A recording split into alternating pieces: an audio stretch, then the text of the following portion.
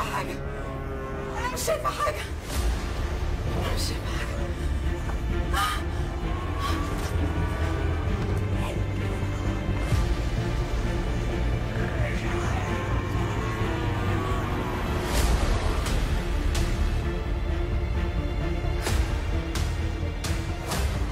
بتقول إيه؟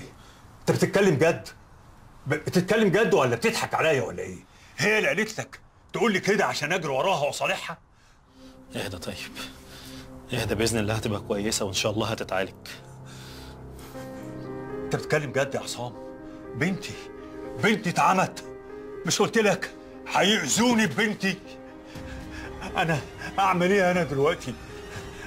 بنتي أنا قلت لهم أموت أنا وبنتي تعيش أنا ما كنتش عايز أقول لك عشان ما تعملش كده إحنا دلوقتي لازم نسافر لدارين ونبقى جنبها ونشوف هنعمل إيه. أنا ما أقدرش اعمل اي حاجة. أنا راجل قليل الحيلة.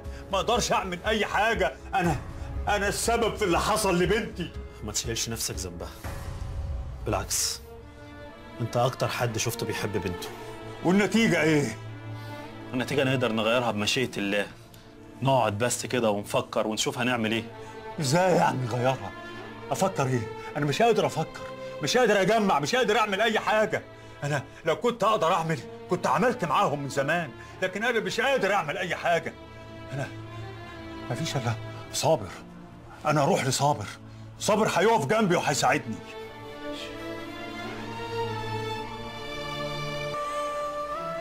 عز. عز.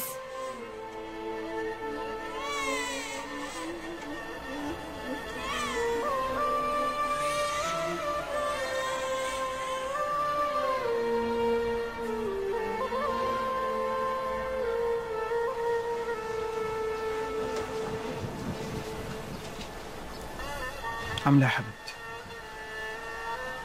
صابر لقيت عز. وأنت كنت بتقولي إيه؟ شفت عز دلوقتي أو زي ما يكون شفته. مش عارفة. هو أنا اتجننت يا صابر؟ الشر عليك من يا حبيبتي. بقول لك يا رحاب هو إحنا لو لقينا عز بإذن الله. هتراعيه تاخديه في حضنك وتخافي عليه؟ ده سؤال يا صابر ده ابني ضنايا هاخده في حضني ده اللي اتمنيناه من ربنا. بعد كل ده عايزني أعمله؟